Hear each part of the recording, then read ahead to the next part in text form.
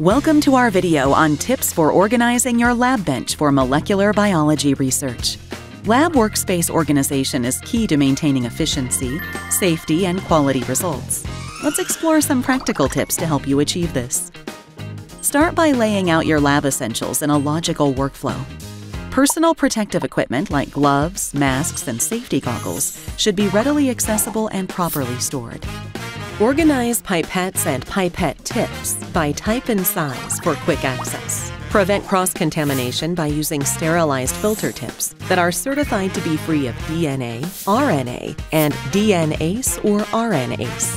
For lab consumables like plates and petri dishes, label clearly and stack efficiently to prevent mix ups. Always have waste receptacles nearby for proper disposal. Store buffers and other reagents as per manufacturer's instructions. Different reagents have different storage requirements, such as refrigeration temperatures or being kept in a dry, room temperature environment. Regular lab audits are crucial. Check for expired reagents, damaged equipment, restocking requirements, and overall cleanliness.